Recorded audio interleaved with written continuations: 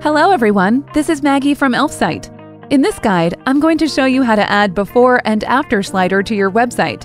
It will only take two minutes and you don't need any specific skills to do it. First of all, let's go to elfsight.com and choose the before and after slider widget in the menu list. Click Create Widget. You can find the direct link in the video description. So let's create your widget. Begin by choosing a template that suits your case best. Click Continue with this template.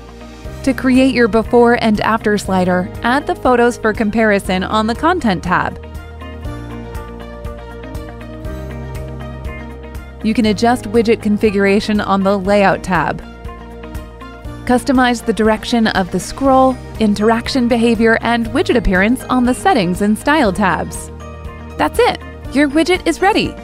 Also, you can check other settings to adjust layout, size, colors, and fonts.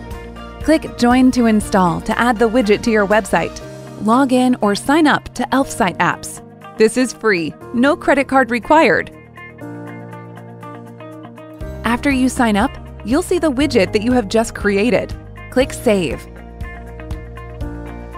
The next step is to choose your subscription plan. You're very welcome to start with Lite, but keep in mind that your 20% discount is valid only for 24 hours. Click the code to copy it and go to your website's admin panel. You can display the widget on any page. Let's look at the most popular use case, adding your widget on the home page. After you've logged in, go to Pages and select Home Page. Add a custom HTML block to the required part of the page. Paste your widget's code in this block. Click Update.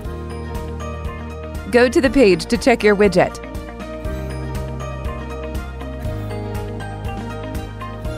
This is how easy it is.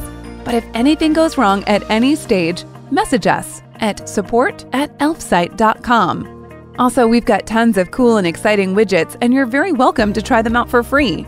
Just click the link in the description. Thank you for watching this video. Enjoy your day!